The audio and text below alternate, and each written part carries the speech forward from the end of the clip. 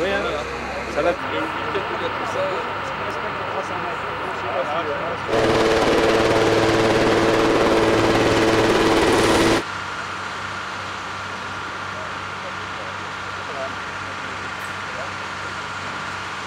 How did you find your, your trip? How did you find your trip? Ah, good? yeah, good, very good.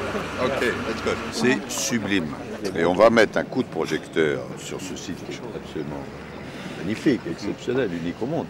Mais dès lors que l'accueil, euh, y Oui, compris oui, par les professionnels, déjà il y a beaucoup de choses qui ont été faites, parce que les travaux euh, qu'on voit aujourd'hui, c'est des travaux qui ont commencé depuis euh, très longtemps, qui vont être terminés l'année prochaine.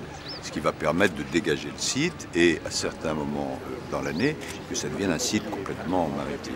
Bon, nous avons déjà combien 2 millions, 2 millions 2 millions 4. 2 millions quatre de visiteurs, mais on va en avoir encore beaucoup plus. Il faut bien les accueillir, ce qui signifie évidemment un logistique, euh, les transports, etc., mais aussi l'accueil euh, auprès des commerçants, euh, l'accueil dans l'abbaye. Le tourisme, c'est une des richesses de la France. C'est particulièrement vrai en Normandie, mais c'est vrai partout. Ça crée des emplois locaux, ça développe l'activité dans les communes périphériques. Il faut donc concevoir des circuits touristiques. Les gens ne vont pas aller uniquement au, Mont-Saint-Michel. Il y a beaucoup de Japonais. Les Japonais ne vont pas uniquement au Mont-Saint-Michel. Ils peuvent aller dans d'autres endroits, en Bretagne, en Normandie, à Paris, etc.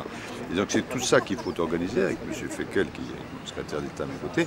Mais il faut bien qu'on comprenne que le tourisme, c'est un- une pépite pour la France.